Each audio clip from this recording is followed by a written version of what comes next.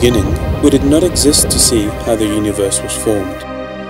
But the observation, the formulation of hypotheses, and the elaboration of scientific theories allowed us to develop a rational view of how the universe began, of how the chemical elements were created, of how they grew into stars and galaxies, and how a solar system was formed, with planets, gaseous giants, and barren dwarfs, moons, and comets, and sometimes unique places.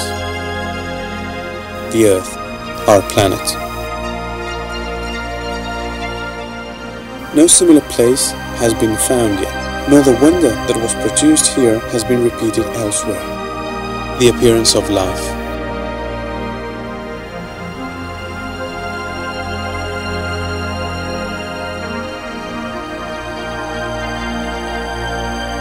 At the beginning, we did not exist to see how life was generated. And when man wondered where he came from, he also had to observe, formulate hypotheses, and elaborate scientific theories. At the mountains, there were remains of ammonites and fishes. And within sediments, remains of tremendous bones and skulls of terrible animals nobody had ever seen. Strange animals were discovered, but all this was seen like an infinite garden at the service of man, the center of the universe.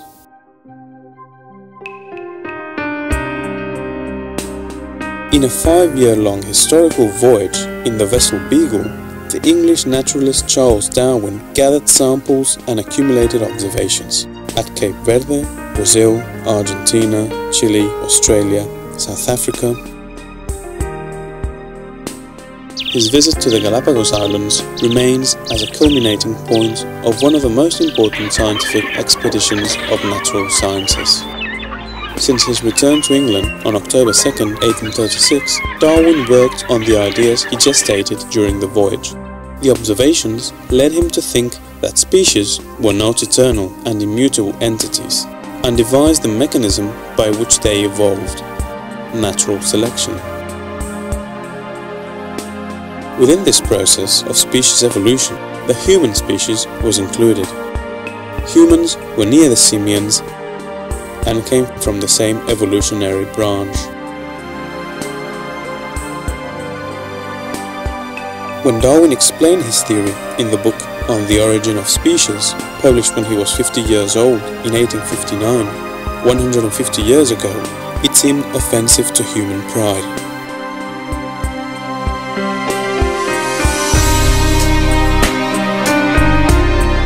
The telescopic observations by Galileo in 1609, a centennial also this year, showed, contrary to the opinion of many, that the universe did not always spin around the Earth. The observations by Darwin and the analysis he made motivated even deeper intellectual changes because they evidenced that the universe did not exist only for human existence.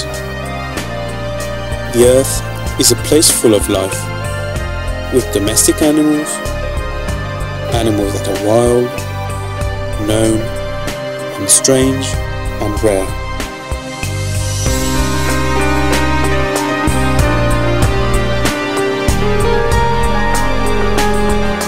It seems incredible that all this diversity has evolved without a plan, that complex organs have been developed, like the wings of insects, birds, and mammals. Or the ocelli of hexapoda and the eyes of so many animals.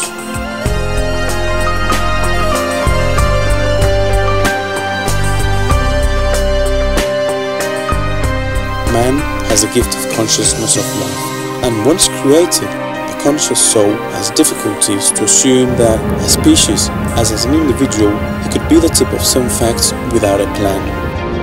There is a continuous link from each of us to the spark of the original replication. But the human species can be the fruit of a series of fortuitous circumstances during the evolution of life on this magnificent planet.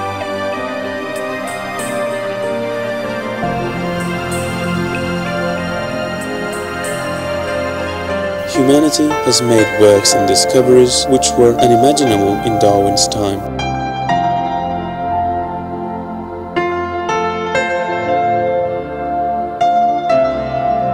And the yearning that he was wrong still reappears in some. Though it is almost impossible to find each and every one of the links that connect the tree of the species, to understand the biodiversity on the surface of this planet next to a yellow star at the corner of a minor galaxy, the theory of evolution conceived by Darwin with some unavoidable finishing touches is present the best scientific theory we have.